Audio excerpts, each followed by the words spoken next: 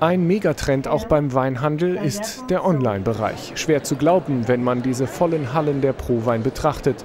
Aber richtig, auch Online-Händler müssen suchen, was sie verkaufen wollen.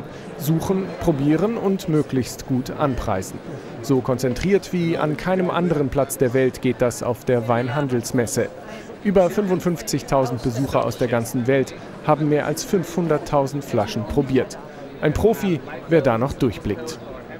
Das ist bei 6200 Ausstellern vielleicht ein bisschen schwierig. Was grundsätzlich wirklich den Pro-Wein-Besuch betrifft, für den Profi, eine gute Vorbereitung muss da zu Hause stattfinden. Denn hier einfach auf die Messe kommen und sich treiben lassen, das wird nicht funktionieren.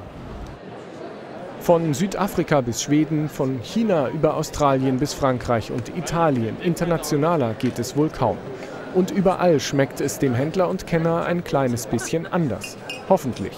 Wie sehr Profi die Besucher wirklich sind, wird an manchem Stand durch Blindverkostung getestet.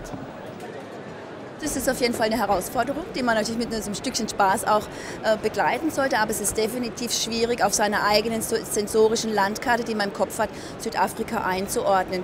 Und man ordnet nicht Südafrika ein, sondern man ordnet ein, was man riecht. Ja, ist es mehr grün oder ist es mehr gelb? Also ist es mehr apfelig oder ist es vielleicht ähm, ja, etwas mehr blumig? Und da versucht man sich so ein bisschen nach diesen Koordinaten äh, durchzuhangen, um dann irgendwann mal bei der Sorte oder bei der Herkunft zu sein. Wichtigste Meldung nach der Messe, es wurde nicht nur ausreichend probiert, sondern auch ausreichend bestellt. Die Weinbegleitung beim nächsten Restaurantbesuch ist also weltweit gesichert.